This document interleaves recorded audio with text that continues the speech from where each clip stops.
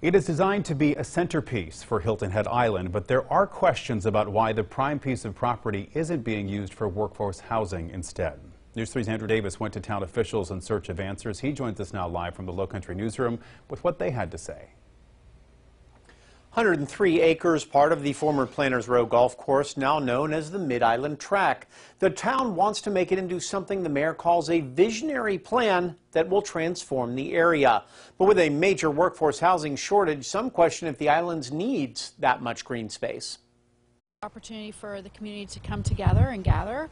There's an ecological area where there could be a eco-heritage um, opportunity for education. There's an island heritage component that could be the future home of St. James Baptist Church. That is the design for the Mid-Island Tract, 103 acres that used to be the Planters Row Golf Course, now a town-owned area for nature and community. But some folks feel left out. The town floated an idea early on for 20 acres of that land to be used for workforce housing, a plan that Capital Project Manager Jennifer Ray says is no longer on the docket.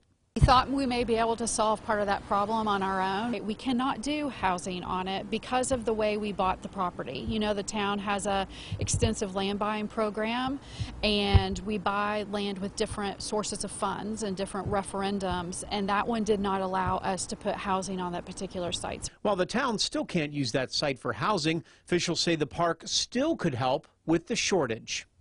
There's a larger piece of the island that would include the Northridge Tract, Northridge Plaza, Port Royal Plaza, down to Marshland. And in addition to planning for the park, we're planning for redevelopment strategies there. Looking at that whole Mid-Island area as a redevelopment area and identifying opportunities for housing within the area, just not on that particular piece of property. Opportunities that Ray says the public wants and the town wants to make happen. So they've really fallen in love with the site and it's central to the island. It's in a great location for everyone to come together.